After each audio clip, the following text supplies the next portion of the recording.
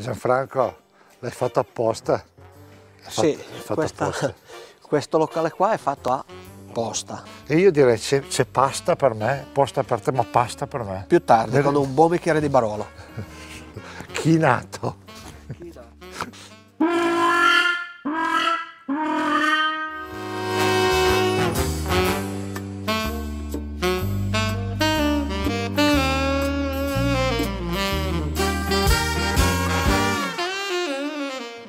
Siamo in compagnia di Sergio Germano, è il presidente, il boss della bottega del vino, è all'aria da boss, eh?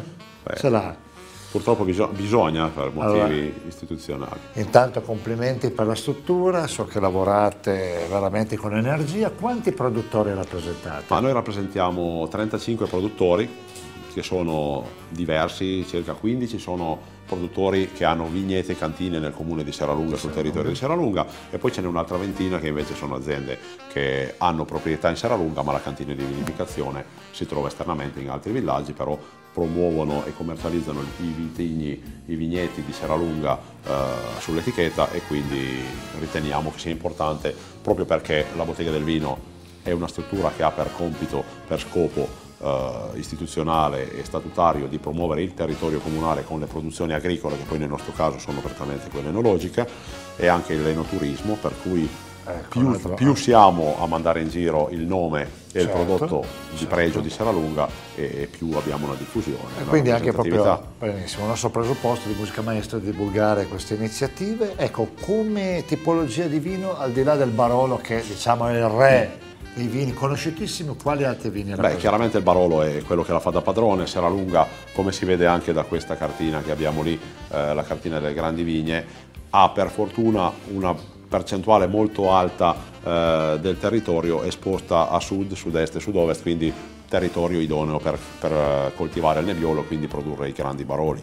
Chiaramente poi ci sono versanti un po' meno esposti, eh, anche se sono in minima parte, però si coltiva dolcetto d'alba ecco. e barbera d'alba. Questi sono eh, storicamente i tre vitigni, dolcetto, barbera e nebbiolo, quelli che vengono coltivati. Poi diciamo che ultimamente eh, qualcuno sta facendo esperimenti anche eh, con qualche vitigno bianco, perché ormai il mercato eh, è internazionale, tutti quanti dobbiamo anche stare dietro a quella che può essere la richiesta commerciale, però diciamo che eh, qui si fanno comunque viti, eh, vini di grande pregio che siano eh, bianchi o che siano appunto anche i semplicissimi, tra virgolette, semplici in senso positivo, nel senso di vini più quotidiani, il dolcetto alla barbera, sono comunque vini che hanno un certo pregio. Come mercato è prevalente quello italiano o quello straniero? Ma uh, direi che sono vini che per loro natura creano interesse in tutto il mondo, specialmente il Barolo, ma anche gli altri prodotti. Chiaramente se parliamo di dolcetto, per storia, per natura è il, consumo, è il, è il vino di, di, consumo locale, però eh,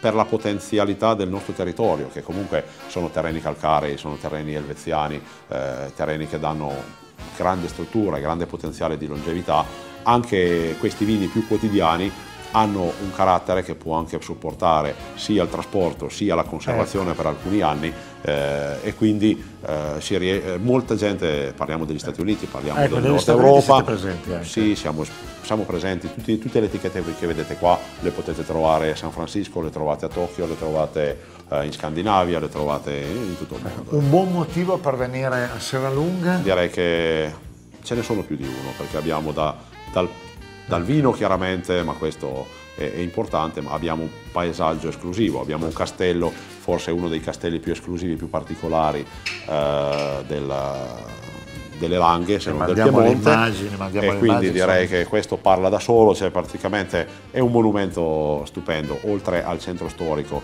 che lo attornia, che quindi è uno dei tre eh, esclusivi del, dell'Italia. Poi abbiamo la gastronomia, abbiamo tutte le specialità da, dall'espressione, abbiamo diversi ristoranti, agriturismi eh, qui a Serralunga che tutti quanti in espressioni diverse fanno un'alta presentazione, un alto livello di qualità di cibi.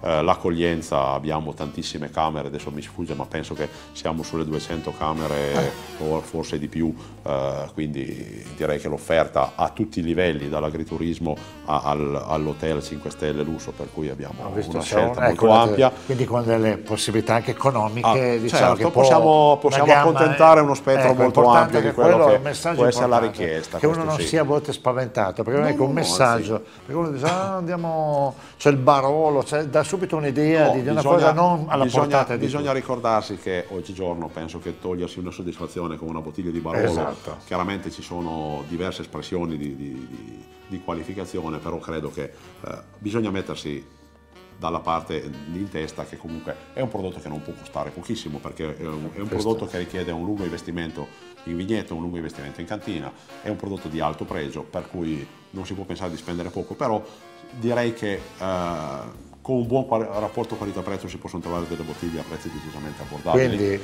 con qualità eccezionali.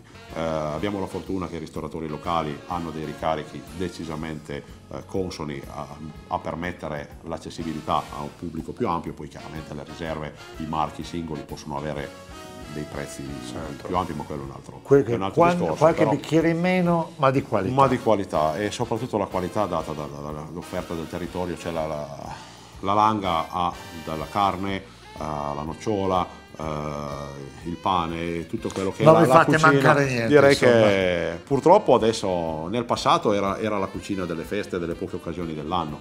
Uh, per fortuna oggi ci ci si può permettere magari di approfittarne, di goderne in più momenti dell'anno e questo è positivo.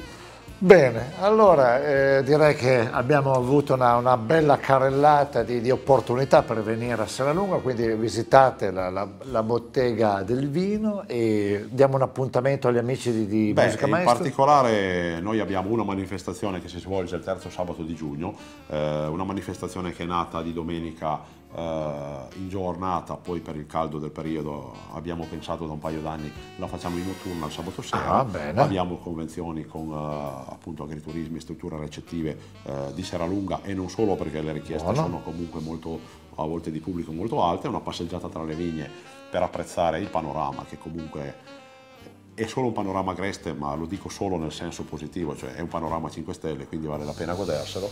Dopodiché si abbinano i grandi vini, specialmente il Barolo, ma anche gli altri vini, alle, specialità gastronomiche, per cui direi che un, vale la pena poter camminare Serralunga e, e, e visitare, camminare in mezzo alle vigne che producono i grandi vini e poi degustarli in loco.